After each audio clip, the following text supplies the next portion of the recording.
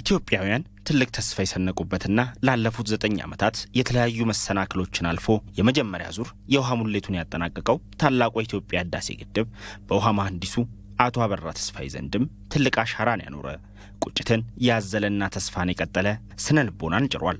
ከግብፅ ምድር የቀሰሙት የውሃ ምህንድስና ሙያ ከትምህርቱ በዘለለ የግብፅና ግብፃውያንን አባያዊ ስነ ልቦና እንዲያውቁት ረድቷቸዋል።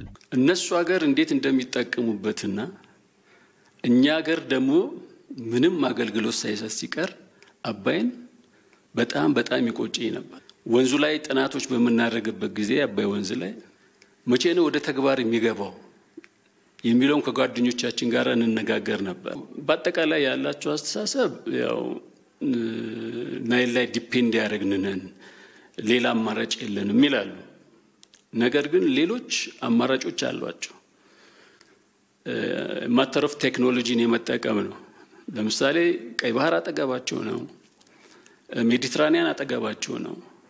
ያንን ውሃ desalinize በማድረግ መጠቀም ይቻላል። ቴክኖሎጂ አሁን በሚገርም ሁኔታ ቴክኖሎጂ ዋጋው እየቀነሰ ነው ያለበት።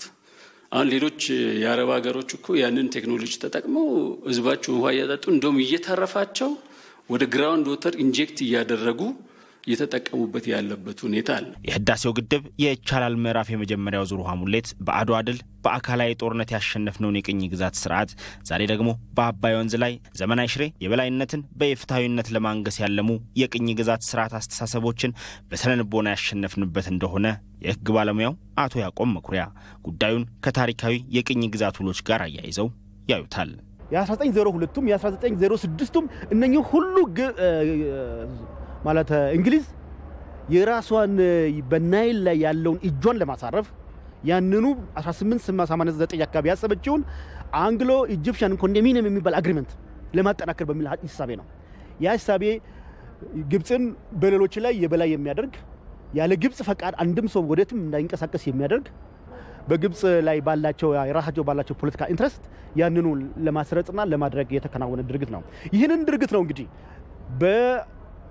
በዚህ ሐምሌ 2012 ወይም ደግሞ 2012 እኔ በዋናነት አሸነፍን ብለ ብዬ በጣም ውስጥ proud የሚሰማው ነገር ቢኖር የእንግሊዝ አጠቃላይ Anglo Egyptian Condominium በዚህ በናይል ወይም በአባይ ወንዝ ላይ ያለውን ጉዳይ የጨረስንበት ዓመት ነው።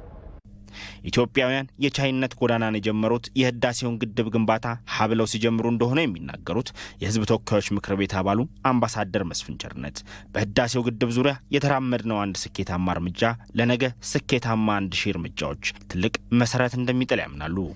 አይቻልም ወደሚቻል የቀየርንበት የፕሮጀክት አቅም ትልልቅ በሌላው ዓለም ትልልቅ ፕሮጀክት የማስተዳደር የመምራት ችግር የነበረውን ልምድ ወስደን እኛ ፕሮጀክት የመፈጸም በአጭር ጊዜም ሆነ በተቀናጀ አመራር መስራት የምንችልበትን ያሳየንበት ነው። ከዛ ውጭ በተጨማሪ ደግሞ አዳዲስ ስራዎችን ለመስራት ጥሩ ዝግጅትና ጥሩ የሞራል ስንቅ የሆነን ነው ብዬ ነው የማስበው። ስለዚህ ከዚህ አንጻር የኢትዮጵያ ሕዝብና መንግስት በጣም ጥሩ ጥሩ አጋጣሚ ጥሩ ጥሩ የሞራል position ላይ ይገኛሉ ብዬ ነው ማምነው ራሴን ጨምሮ ማለት ነው። በህዳሴው ግድብ ላይ የኢትዮጵያ ሕዝብ ያለውን ብሔራዊ መግባባት በማጠናከርም ግድቡን አጠናቀን ይቻላልን ወደ ችለናል ለማረጋገጥ መትጋት ይገባናል የውሃ መሐንዲሱ መልእክት ነው። ይህንን ግድብ አሁን ምዕራፍ አንድ ነው የተጀመረው። ብዙ ምዕራፎች አሉ። ሊያስደስተን ይችላል የዚህ ውሃ ሙሌት ግን አያኩራራንም። የሚያኩራራን ያ ሁሉ 74 ቢሊዮን ሜትር ኪዩብ ውሃ ተሸክሞ ኃይል ሲያመነጭ 6000 ምናምን ሜጋዋቱን ኃይል ሲያመነጭ የሚያኩራራን እና ለህዝባችን ሲደርስ ነው። ያንን ለማድረግ ሁሉም ሰው የሚችለውን ያቅሙን contribute ማድረግ አለበት። ቦንድን በመግዛት ስጦታን በመስጠት የታላቁ ህዳሴ ግድብ በህዝብ ዘንድ የፈጠረውን የይቻላል ምዕራፍ ቀንና ጥሪት ቆጥረው ለመገባደዱ የሚጠብቁ ብዙ ኢትዮጵያውያን አሁንም ከህዳሴ ብርሃን ጎን እንደሚቆሙ ዛሬም እያረጋገጡ ይገኛሉ።